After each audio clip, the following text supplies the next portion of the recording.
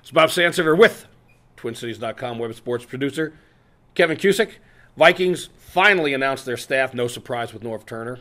None at all. A little bit of a surprise with the special teams coordinator, even though we were hearing it that he might be uh, retained. It's as if nothing happened. I mean, he was named to the staff. Now, you wouldn't know that after hearing from uh, Chris Tomasson did a great job talking to Clayton Halunen, the Attorney. the attorney for uh, Chris Kluwe, who has a few issues with Coach Priefer. And you've, uh, I know you've been involved in this story. Yes, it's uh, basically, um, you know, there's two schools of thought on this. One is that they uh, kept Priefer around for the purposes of concluding the investigation and having him on board, and then if they find anything, you know, terminating him then.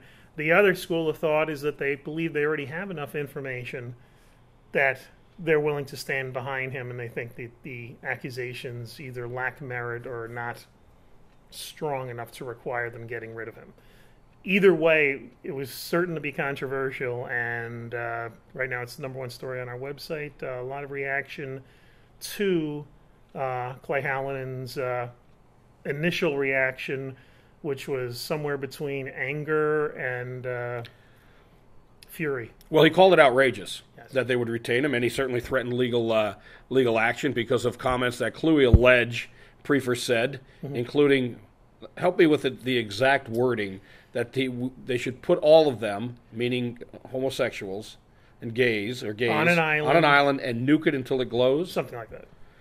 That uh, it's hard to find a context in that where it would be, you know, a backslapper No, or and- nudge and- nudge. That's I'm just kidding. And also, uh, Halunen today added to it. This is the first time I've heard this on the issue of that uh, Kluwe was getting discriminated against on a religious basis because Priefer made some comments regarding uh, Kluwe's belief in a God or belief in Jesus.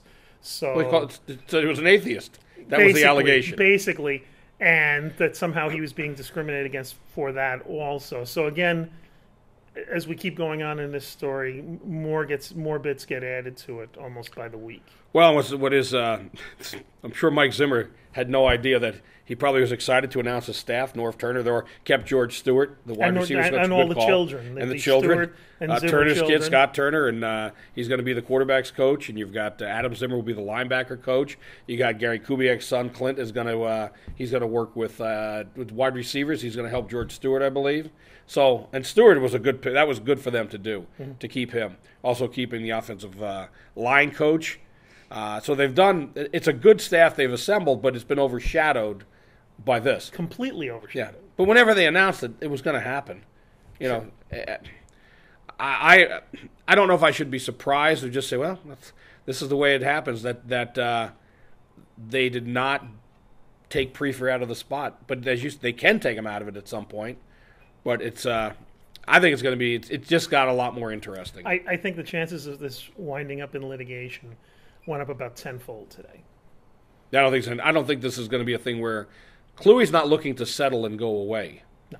I think he wants to. Uh, it certainly gives the appearance when you're threatening litigation and that he wants this to have a, his public forum. This is going to be almost certainly a wrongful termination lawsuit based on, you know, discrimination, both for his political views and his religious views, and how long that this goes on. This could be in the courts, you know, many Well, many months, You're right because it's it's not often you which get. is good for us. It gives us you know, something. It's not often you get them both in, in the same uh, lawsuit. Sure, it gives us something to chat about besides the uh, the free agency of Matt Cassel. Or how uh, how good a game Percy Harvin had as somewhat predicted here. I did say he'd be the MVP. Who? He was not the MVP, so I was wrong, but he didn't do too shabby either. I had said in the podcast last week that it was Peyton Manning's year.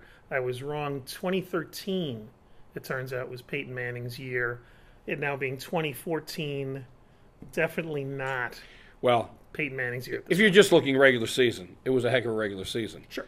If you're throwing, Greatest statistically ever. who would ever remember the Super Bowl though? No one. People don't remember. I believe that. I also said that Seattle defense was overrated and was nowhere near the 85 Bears or the 2000 Ravens. they did allow a touchdown.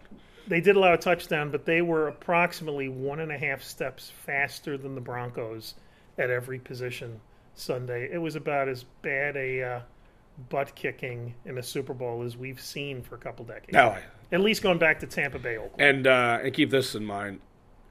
Seattle pulled back the throttle. It's like when you have a boat and you have the throttle all the way forward. They put it into idle. in Imagine if of the Seattle's quarter. offense started quickly. Remember how slow it started? Yeah. They had to settle for field goals the first couple of times. This could have been a just a nuclear. You know, the Broncos basically were put out on an island and nuked until they glowed, and that was in the first half. And on that note, always a pleasure talking to you, Kevin. Like how I tie it all together. Uh, you- you're unbelievable that way. Circle of life. And uh, once again, we'd like to thank CJ Sinner, who is behind the camera. She's our director, our producer, our lighting person. Literally ran here to do the podcast today. She's our. Uh, you wouldn't be now. Let me ask you this, Kevin, because you do movies too. CJ, you can chime in. If it's a woman doing it, do they call him the best boy? I still don't know what that is in filmmaking, or would it be the best gal Or the grip. or the grip? Is the grip the same as the best boy? I don't know. I don't either. CJ, I've got no idea. we need to find that out for next week. But at least we got her to speak. We did. camera. She no longer is doing. She's no longer doing a mime or Harpo Marx. She gets paid more now for it. She gets scale. We'll talk to you next week about the Vikings. Possibly. Hit the button. I'll keep going.